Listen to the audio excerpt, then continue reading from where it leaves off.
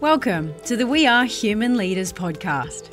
I'm Alexis Dana, and together with my co host Sally Clark, today we're taking a very raw and candid deep dive in this interview with Dr. Tahnee Bridson around mental health and the power of peer support in the workplace.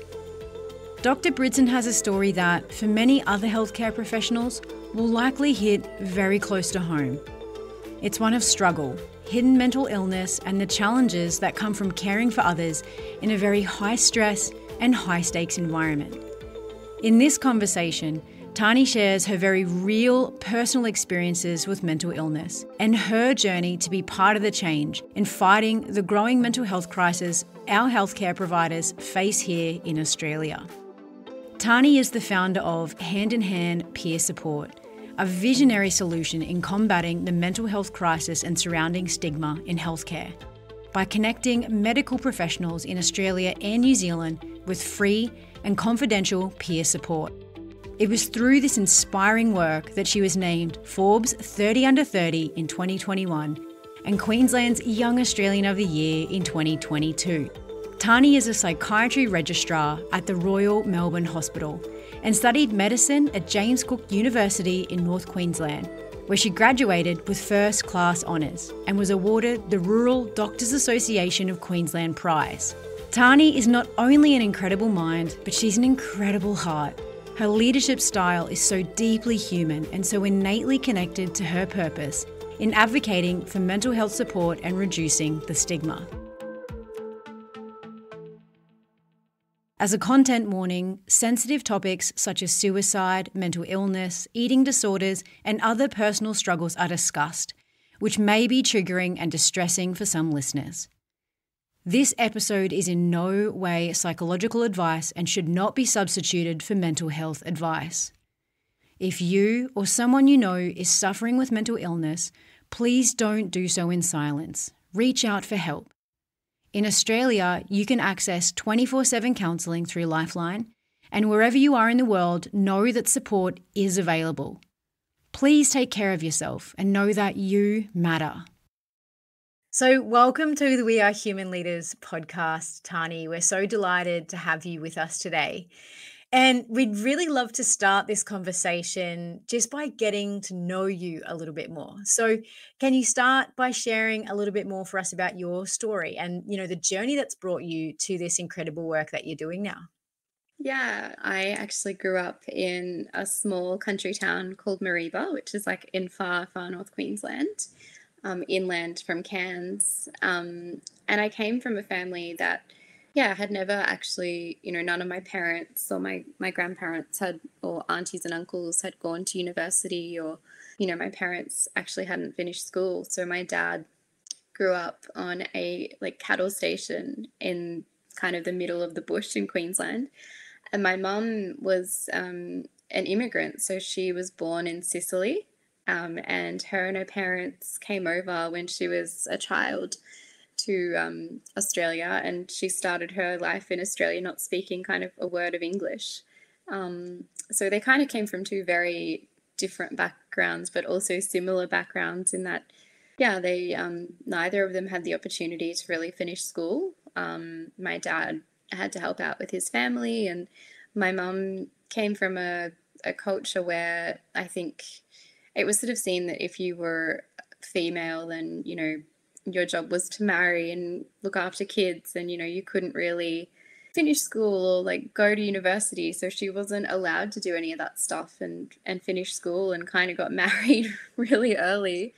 Um, and you know though i think knowing that both of my parents had aspirations and you know would have wanted to do other things with their life had they had the opportunity was kind of um, a big driver for me and that they always sort of got me to make sure that I tried my best and really encouraged me to take opportunities and to you know make sure that if I, I wanted to do something I gave it my best shot.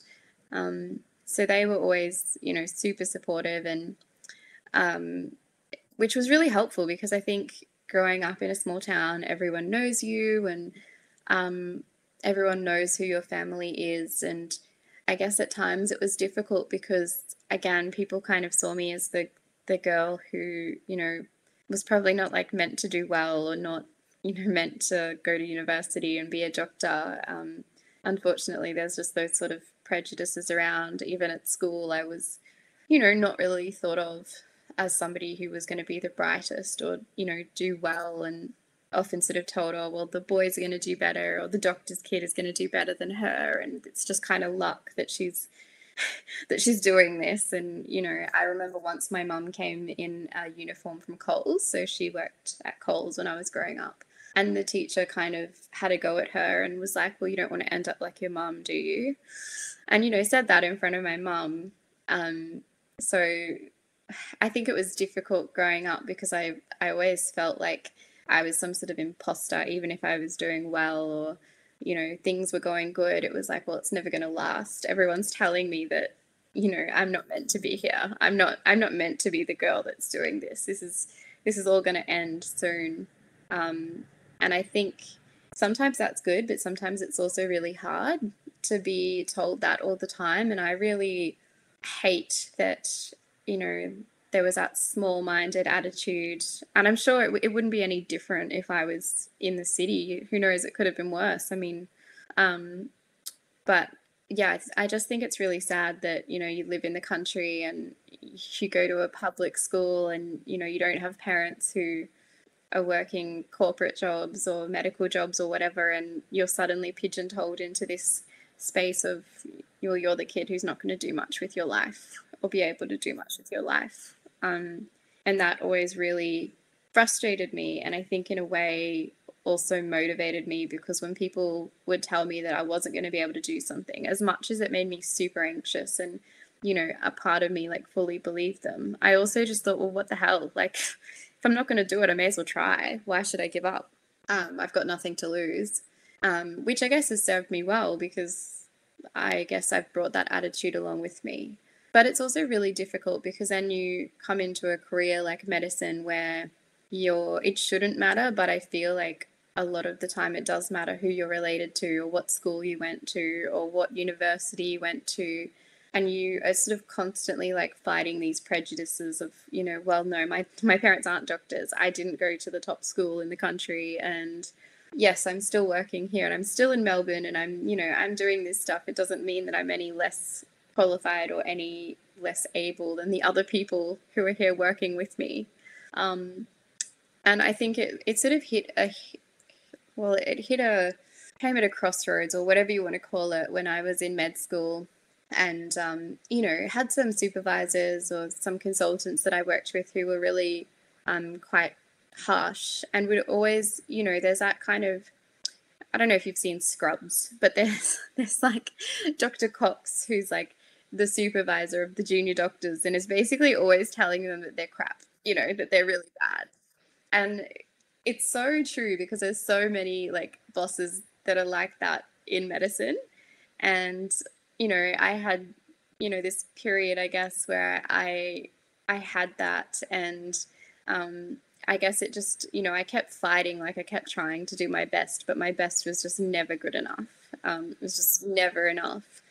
And, you know, it got to the point where I got sick from like trying so hard to be perfect all the time and, you know, having no control over my life and um, ended up, you know, really unwell in an emergency department with like, you know, all these doctors standing around me saying, well, you've got an eating disorder, you've got anorexia nervosa, and we're going to admit you whether you like it or not. And, you know, and that was kind of the a bit of a turning point for me when you know I, I kept thinking that I could push myself um, to keep going and um, yeah it kind of all just came crashing down in a heap. What's so striking about your story, Tahnee, is that I think it illustrates this misconception that if you're a highly intelligent person, if you're a high achiever, that you're sort of immune to the impacts of mental health. And, you know, we obviously can see that there's this space between understanding mental health and actually the integration of it. And, you know, interestingly, in the medical field, where I'm sure you're all very aware of the impacts of mental health, it can still be really challenging to take care of yourself. And, you know, certainly through your story, that seems to have been the case. But, you know, is this something that you see being really widespread in the healthcare industry? Yeah, there's like, you know, there's higher rates of mental illness, especially at the moment with COVID and all the stresses and pressures that have been put on doctors and nurses and healthcare workers in general.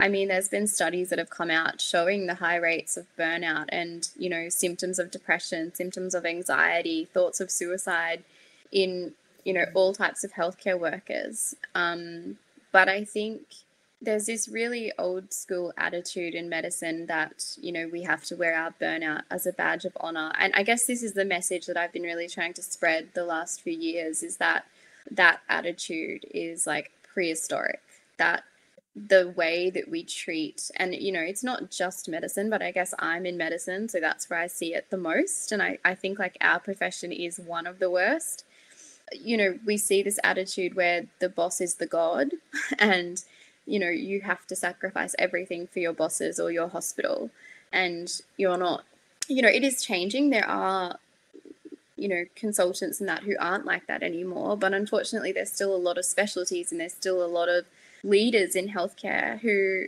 just don't see the human and they think that you don't deserve to be a doctor, you don't deserve to be on a training program, or you don't deserve to be have a job unless you are willing to like come to work half dead you know? They they joke about how like in the old days you would never take a sick day um, unless you were like in the ed on a drip. And you know people joke about that's how it used to be but it's not far off being like that still. We've made so little progression in this profession that's supposed to be a caring profession but to our own colleagues we treat them so badly. Um, and we don't want to hear about it. We don't want to talk about it, or people are scared to talk about it. You know, even when I talk about the fact that, you know, I've had personal experiences of bullying or, you know, whatever you want to, you know, whatever it is, there's still this like fear in me. And it's the fact that I feel it and I kind of got some sort of platform where I should feel free or feel like, you know, I'm able to advocate for it and able to talk about it the fact that I still feel scared that I'm going to get in trouble or that someone's going to like, you know, I don't know, try whatever they're going to try and do, ruin my career, whatever, because I'm trying to talk out about something that happened to me and make it more acceptable to get help and to talk about it and to actually, you know, report people or, you know, tell your tell other people that you're being bullied. The fact that we feel so scared about it and, you know, that we can't do that because it's going to impact our career or we're not, you know, we're going to not have a job or we're not going to get the job that we want. It's just, it just seems so out of keeping with the modern world and like how far we've progressed in other things. It's interesting, Tahnee, as a burnout researcher, what you're saying really resonates for me that even in this situation where it's really obvious that it's incredibly damaging, not only to, you know, as at an individual level, but also to the profession and to the capacity to uh, do your job correctly, that burnout has such a detrimental impact on us and other um, mental health challenges as well. That sort of schism between, you know, we're aware that that's the case, but we're not actually making the changes and not seeing that shift um, from the profession itself and from those the bodies like the hospitals um, that it's having to be led by individuals uh, like yourself to start to see that change. And it's a real, it's a really courageous position to take. I think when you know that there are very real um, potential impacts on on your career as a result. I'm, I'm curious, was that the moment that you mentioned in the ER was that was that a kind of a turning point for you? Or I'm curious sort of how the journey evolved for you after that point. I think this is the other thing that I probably haven't spoken so much about um, but I guess it's something that I think is important to highlight is that having an illness or a mental illness it's not always like you see in the movies like you have that turning point and suddenly everything's better. Um, I think it's a journey and sometimes it's something that you struggle with hopefully not for life, but it can be something that people struggle with for years and it takes it takes time. And I think when I first had that experience, I was like very anti psychiatry. I was like very science focused, had never had any contact with mental health, was like, this is not, you know, this is wrong. I don't have this illness. And I think they often say, like, in the eating disorder space, that you eat your way out. And I just kind of ate my way out. and and then kind of tried to like run away from having to deal with I think the issues or the things that had contributed to that. And I also had I felt like I wasn't very well supported by my colleagues. You know, I was in a small hospital where I was obviously at uni, and so everyone knew each other. And as much as it's supposed to be private, it wasn't private. Like, you know, my confidentiality was broken. Um, and, you know, people don't do it on purpose, but it, it just was. And I think then I also had people sort of saying to me that because I had this, I wasn't going to be able to finish. Like, I wasn't going to be able to pass the exams. I'd missed too much. Like, you know, just all these really negative like things that people were sort of saying to me and really made me feel like I was just not going to be able to do it. And I think I just put all of my energy into I just wanted to give it a go and I wanted to prove these people who were telling me this like that they were wrong. Um, and so I put all my focus, I think, that year into just like studying and my exams. And, um, you know, I always went into exams feeling like I was going to fail, but it was the first time in my life where I I'd actually like I'd kind of just accepted it because so many people had just said to me there was no way I was going to be able to be a doctor with like a mental illness and you know this was like the end kind of thing but I was determined to give it a go and I ended up like you know doing well in the exams and I'm not saying that's what everyone has to do in that setting and you know finishing and graduating from med school but it wasn't really until I finished med school because I'd ignored it for so long that it kind of came back to bite me you know, in the butt because I just I'd tried to ignore it. I didn't want to think about it. I didn't want to accept that I had this. Um, I mean, in other ways, I'd made steps towards like, you know, this was a really good experience, and I wanted to learn from it. And I had in that time, I got to come down to Melbourne and do an elective in mental health um, with Orygen down here, which was so eye opening, and it was such a a different experience than I'd had as a patient. I was about the same age, you know, it was a few years ago, so they do 12 to 25. And it was just such a different experience the way the patients were treated and just like, you know, the way they were included in their care and the way that they spoke to their patients.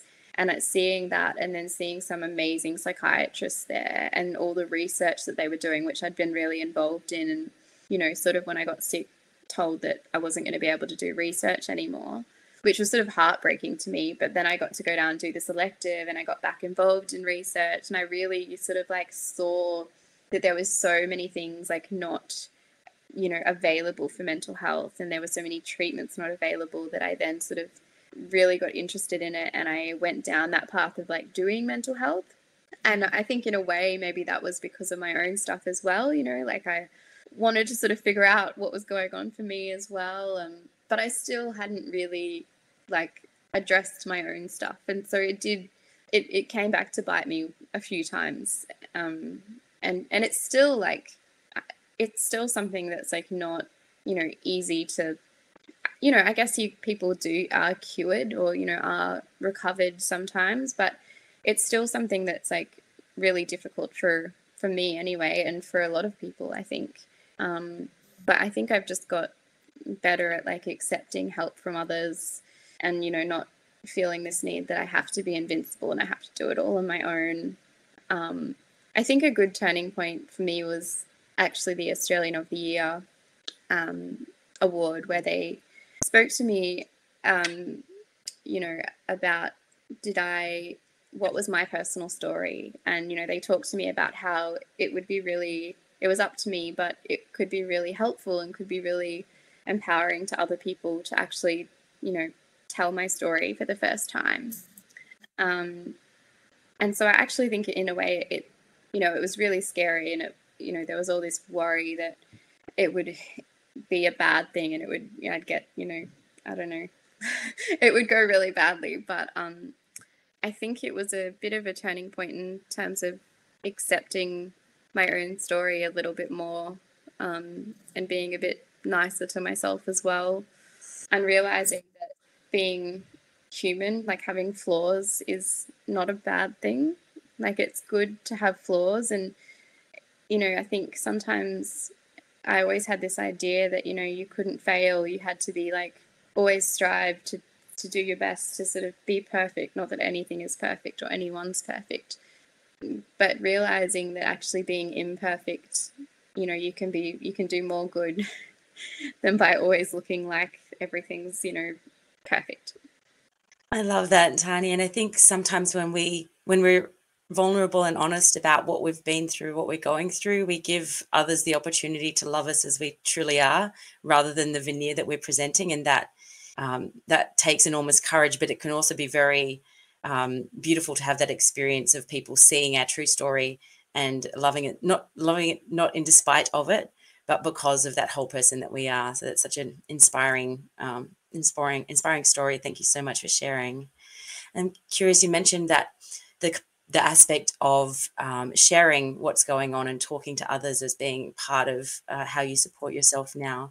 And I know with Hand in Hand, being a peer support network for, for healthcare professionals, how do you think peer support specifically helps us address mental health in a way that's different from perhaps more traditional uh, mental health support? Yeah, so I guess with our peer support model, we um, like to think that it's more of like a preventive um, you know, it's the it's the preclinical before clinical intervention is needed stage, um, and there's kind of this like public health analogy where most of what we do in healthcare is like someone falling off the cliff and the ambulance is at the bottom catching them, and the idea with peer support and getting to people early is that actually we put up fences and stop them even getting to the cliff. You know, it's not going to work all the time. It's not going to work for everyone. There's going to be there's you know always going to be people who maybe potentially need more intensive support but you know there's I, I think for me personally the idea kind of came from my own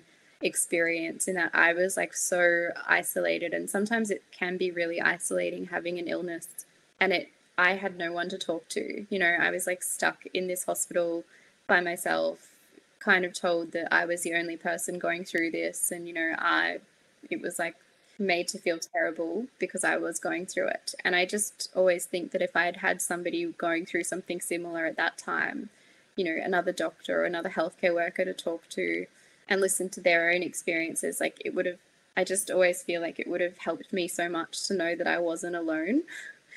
so this, this is kind of the like, you know, the evidence, I guess, behind the peer support model you know, which has obviously been going on for years in other industries. But then there's also, I guess, my personal view and why I felt it would be helpful. And, and we see it too. I mean, peer support is what they use in things like Alcoholics Anonymous or um, even the most like, you know, obvious example is like your mother baby groups. They're, um, you know, peer support groups for new mums. And um, they're often, you know, really helpful. One of our members often likes to joke that his wife is still in a mums and babies group 31 years down the line. Gold. I think this really highlights the power of human connection through peer support in helping us deal with a myriad of issues, as you've mentioned, Tahnee, from Alcohols Anonymous through to new mothers and new parents groups. And I think that we forget that all jobs are still a deeply human experience. And I think that for healthcare workers, you know, we we often see the white coat or we see the doctor first, and we forget that there's actually a human being beneath that, having to use their brain and leave their kids at home every day to show up and um, save lives and take care of people. And I think that it's almost like this compartmentalization of when you walk in the doors of the hospital, like now you're the doctor, you're, you're not the human anymore. And I, I imagine that would be really challenging. And, you know, I, I would love to dive into this further because I think, you know, we have the metrics now to understand the impact of mental health across industry. But can you maybe highlight for us, like, what's the impact of poor mental health in the healthcare industry you know and how does it actually impact on some of these doctors ability and and nurses and physios and other healthcare workers? How does that actually impact on their ability to do their job? I mean i think the most you know, simple example is just sort of, you know, days of work lost. I think, you know, we, there's probably a lot, I don't know off the top of my head, but, you know, what's the, the metric days off for, you know, work days lost or whatever it might be, the official name is. But, um, you know, the number of days that people are off sick and then the, you know, additional burden on the other staff. Not that it's bad to take time off, you know, people need to take time off but I think when we leave things that late that people are, are so unwell, then the, you know, we also lose staffing and we, you know, increase the, the burden on the system as a whole. Um, you know, the, the bed pressures, all of that kind of stuff, it all like piles into one another. And, um, you know, whereas if we're able to support people and, you know, it just comes back to simple things too, like even just making sure staff get a lunch break so that, you know, it doesn't contribute to their burnout or like having a bathroom break. Stuff like that. If we could, you know, just make these sure these simple like human rights are granted to, to healthcare workers, the like level of burnout and, you know, not even going as far as mental illness, but just like, you know, sort of compassion fatigue, all of that sort of stuff would just if we could actually treat our staff right, you know, that would improve astronomically. And it's just stuff that's been going on like for years. And, you know, there's just been so little movement in these ba- providing these basic necessities to staff. Yeah, and I can see how frustrated you are even just, you know, describing that being on the receiving end of that. And you know, it's interesting because you mentioned these ideas of, you know, absenteeism, people having to have sick days. Um, and we know that, you know, absenteeism or or um, long periods of being in burnout is obviously in a lot of ways a precursor to employee retention issues and in a country like Australia, where we already have such a healthcare worker shortage and we have, as you said, increasing bed pressures, it's an entire systemic issue at that point. and i think you know that that's in the worst case scenario but i think before that we even have the impacts to patient care i imagine someone who's got um, such a mental load and such a heavy burden of dealing with mental illness isn't able to deliver the best possible clinical care that they could should they be on their game and, and feel like they're able to take care of themselves. Yeah well i was just going to say absenteeism is kind of the later stage but yeah we also have like presenteeism where people are there but like not functioning at their best.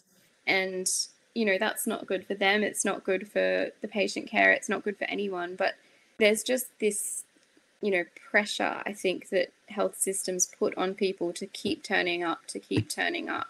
We just you know there's there's so much pressure and that's why there is this thing presenteeism where we all end up turning up to work even when we shouldn't be there. And that just again like leads to burnout. Yeah so much of what you're saying really echoes a lot of the research that i've done into burnout as well in the sense that it's these are systemic issues. It's we shouldn't be when it comes down to people having lunch breaks and uh, being you know having healthy working hours being able to rest and recuperate in a way that our bodies and minds need to f- properly function. These are systemic issues. This should not be down to one individual making a case by case decision for themselves or for others. We really need to redress things at a systemic level level in organizations so that people aren't having to try and set these boundaries for themselves, but the, the but that the systems are actually working to ensure that people have well-being and and balance in life that we need to to be our best selves. And um, I'm curious. You mentioned earlier that there's there's this real stigma um, around mental health issues in the medical world. I'd love to dig in a little bit to why you think that's that stigma remains.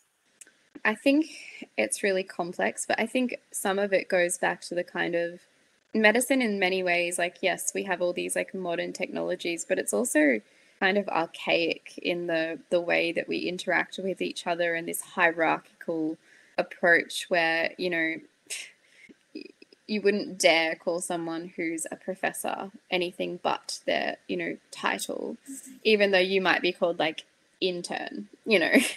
You know there's this real kind of it's very like old age isn't it? You you shouldn't be seeing that in the workplaces but yet that still exists in medicine and i think a lot of those older attitudes where you had to turn up you had to be there every day you couldn't be sick that all sort of plays into then the stigma that well you can't be unwell and you can't have a mental illness. And you know there's still so much stigma in the general population about mental health and getting help that you would think our own profession would be better at dealing with that. But in fact you know we're probably most of the time worse. And unfortunately within medicine and within specialties people sometimes look down on psychiatry they look down on us and you know think that we're not as worthy a specialist or a specialty. Um, and so, you know, why would we? And then, of course, that then feeds more into the stigma and not wanting to get help and that kind of stuff. And I think it's only like with our generation and the younger, you know, generation coming through that we're really trying to fight this um, old school attitude because I think it's just I feel that it's just leading to more issues and more, you know, more lives lost, more careers lost, more burnout, more illness. It's not helping anyone. it sounds both fascinating that medicine, as you mentioned, can have some of this incredible leading technology and be at the fore of so many innovative ways in fixing human problems, yet, as you mentioned as well, be almost behind the ball when it comes to addressing mental health. And you've made note that it's a combination of things from a systemic, sort of industry wide issue around hierarchy and the nature of the work. But there's also this stigma that you need to be the highest performing people in your field and therefore shouldn't be incurring or having mental health issues, which is, you know, hugely problematic. And I'd love to dive into how peer support maybe provides an alternative to some of the more traditional counseling or psychology and the sorts of things that we would traditionally access as a way to handle mental health. What are your thoughts? Like, how does peer support do this differently? And, you know, is it more preventative? Does it ease people into mental health support? I'd love to know more about how peer support sort of fits um, differently with the medical profession and might provide us a new way at looking at addressing mental health. Yeah, I think peer support, because it is seen as sort of, you know, the step before clinical help, I think we've noticed that a lot of people feel so much more comfortable coming to us, you know, and it's almost like they they feel like asking for some peer support is more acceptable than going to their doctor and getting help um, and which is great. We're you know i guess that's why we want to be here because we want people to reach out for help. Um, and you know we want people to feel like it's okay to do that. Um, and and even like when people do come to us and you know we sort of say we think that you know you'd also benefit from some additional support maybe a psychologist or something like that it, it feels like people are almost more open to it when we say it because you know it's like we're confirming that you know it's okay to get help. It, it's you know we're reassuring them. Um, so i think the the peer support concept can have lots and lots of, of benefits in terms of people actually accessing help and reducing stigma things like that. And i think in answer to the second part of your question you know we're always going to need the next you know the various stages of of treatment for people because you know but i guess we would like to see well for the time being where we're in healthcare. Of course if we could you know provide peer support to everyone be great. If we were able to expand i think what we would like to see is people getting that help earlier. Because obviously the later things get left the harder it is then to find treatment. You know there's all this pressure on psychologists, psychiatrists, GPs, and um, you know, the later you leave it, the harder it is to get treatment, and harder it is to also get the treatment that you might want. Because you know, if somebody's really unwell, the decision kind of gets taken out of their hands sometimes, not always, but unfortunately, sometimes it does. Um, and so, you know, we are really trying to advocate for people to to come and seek support earlier on. And I think also from a junior doctor perspective, I think so often we feel like we don't have control of our lives. And the reality is we don't. Like we work so much and, you know, we sometimes like hospitals or whatever are, you know, not really supportive of holidays or taking a day off, that kind of stuff. And, you know, my colleagues and I, we'd love to see that change. But this was kind of the change that we could make or the thing that we could offer at that point in time and that we can still offer. You know, there's things that we can change, there's things that we can't change. This was one thing that we thought we could provide to the healthcare profession. We not, might not be able to change the way like hospital systems work or managers work or admin work or whatever, but we can at least sort of put some sort of scaffolding there to support people.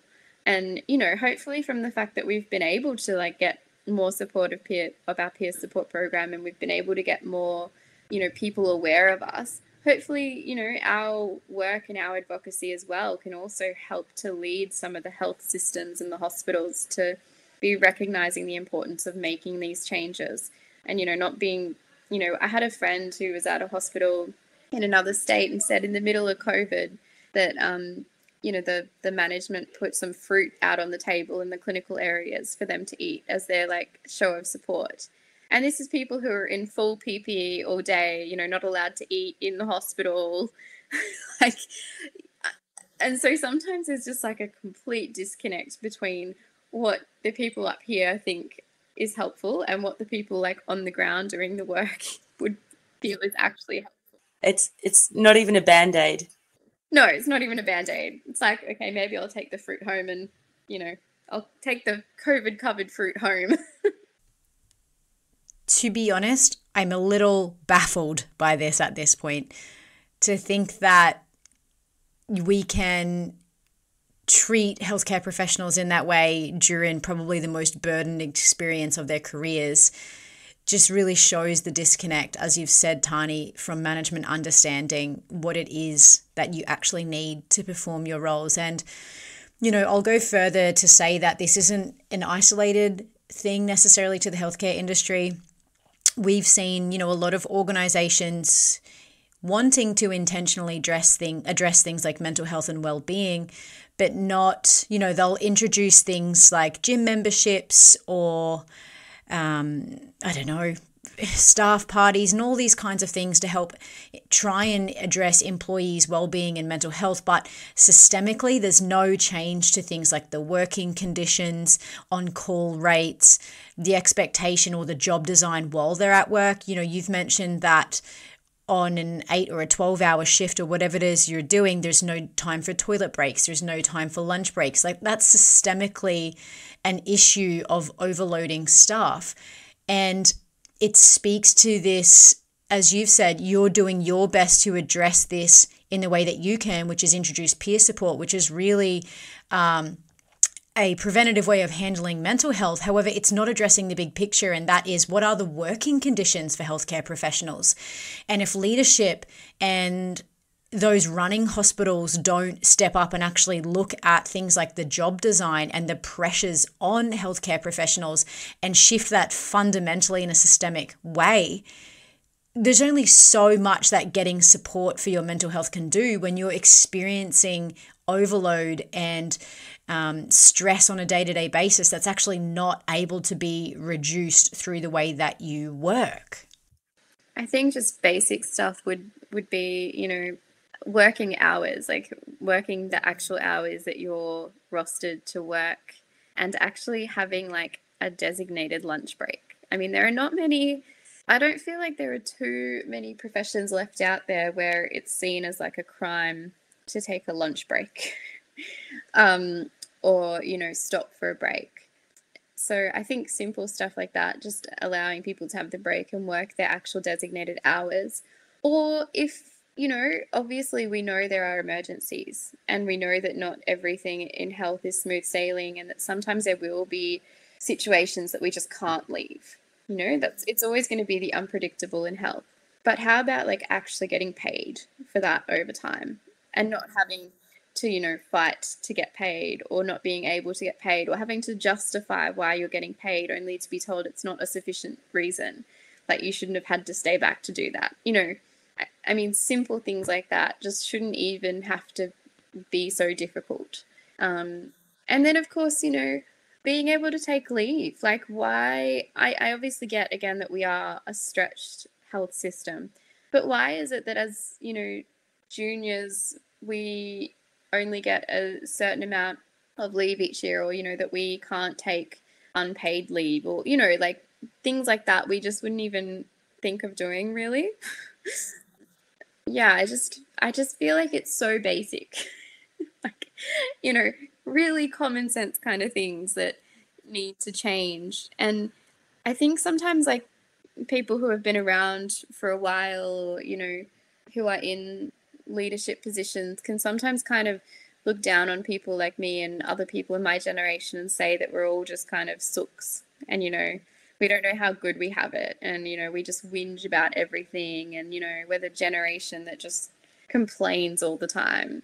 But i think it's not that. I think it's just that now you know we i guess are a generation that have been taught what's right and what's not right. And you know that's sort of been instilled in us. And we're not happy to just kind of sit around and and be treated like this. And you know, I think the pressures at the moment are probably the worst they've been since like the Spanish flu or the wars. So to say that well we had it worse, you, you can't say that. You can't compare apples with oranges. You know, like people can judge and criticize or whatever all they want, but I think they at some level need to take on board the feedback of the people who are working on the ground who are saying how difficult it is and look at the stats of you know how overwhelmed the hospitals are at the moment. You know you're not going to pluck staff out of thin air unless things change. They're going to go where the best conditions are.